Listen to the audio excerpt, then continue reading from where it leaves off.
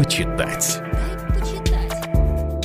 Здравствуйте. Я Ксения Станиславовна Лицарева, декан филологического факультета Вятского государственного гуманитарного университета. Для меня 2015 год знаковый, ведь он объявлен годом литературы. И очень символично, что буквально в новогоднюю ночь я читала немного смешную ироничную, во многом грустную и остроумную историю о человеке, для которого нет жизни без книг, для которого смысл личного существования заключен в чтении. Французский дипломат, поэт, прозаик, лауреат Ганкуровской премии Поль Фурнель в романе «Читалка» доказывает, что книги умирают, но не сдаются. Главный герой Робер Дюбуа – владелец успешного и крупного издательства, носящего его имя. По-настоящему умеющий наслаждаться вином, едой, общением, издательской деятельностью, жизнью. Он очень обаятельный человек. Однажды вместо объемных бумажных рукописей ему вручают ридер, читалку, которой он пытается приспособиться.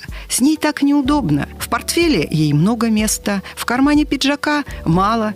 Если лежа с ней уснешь, то она упадет и больно ударит по носу. Но постепенно читатель вместе с Робером Дюбуа понимает, что развитие новых технологий не обозначает смерть литературы. Пока человек жив, существует и чтение. Оно может принимать новые формы, а исчезнет только с гибелью человечества. Читалка – это не столько электронная книга, ридер и гаджет, сколько метафора перемен, наступивших прежде всего в издательском деле и в творческом процессе писателя. А Робер Дюбуа азартно освоил и читалку, и новые неизвестные ему жанры – комиксы, приложения для мобильного телефона, поэзию, появляющуюся на экране под музыку. Для него главное – не переставать читать. Робер Дюбуа вдохновляет молодых практикантов создать виртуальное издательство, обучает их издательским тонкостям, прививает хороший вкус и к чтению, и к еде, и к жизни. Его последний проект тоже успешен.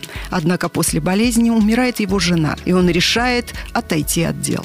Закупает в книжном магазине 50 книг, очень недешевых, что его удивило, ведь всю свою жизнь он потратил на то, чтобы книги были интересными и доступными.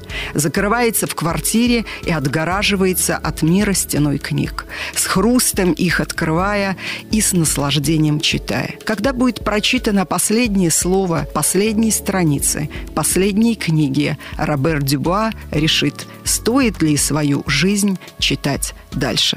Мир меняется, мы меняемся. Вечной остается только страсть к чтению. Дорогие слушатели, у вас есть прекрасная возможность предаться этой благородной страсти и прочитать читалку Поля Фурнеля. До новых встреч! Дай почитать.